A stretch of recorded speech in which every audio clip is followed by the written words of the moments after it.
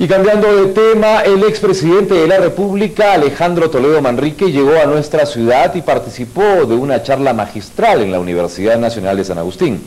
A la salida justamente de este evento, sufrió un altercado cuando un grupo de personas le lanzó insultos y le recordó los lamentables sucesos ocurridos hace 13 años en el denominado Arequipazo. A su salida de un evento académico, el expresidente Alejandro Toledo fue increpado y recibió calificativos de duro calibre. Esta fue la reacción de un grupo de ciudadanos minutos después de que el exmandatario abandonara el aula magna de la ONSA durante su visita a Arequipa. En tu gobierno se dio el arequipazo, ¿no te acuerdas? ¿Te acuerdas? ¿Te acuerdas? Mataron estudiantes de la universidad.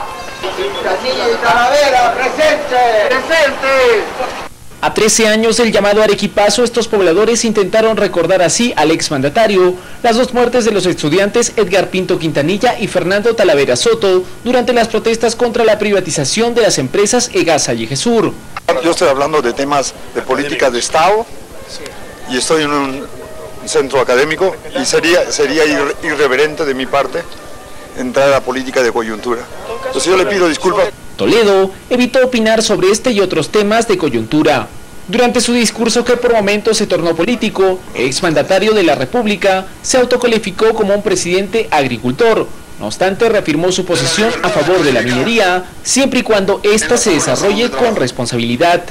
No hay que desestimular las inversiones, pero hay que exigir que cumplan su responsabilidad socio-medioambiental y que compartan las ganancias con las comunidades campesinas.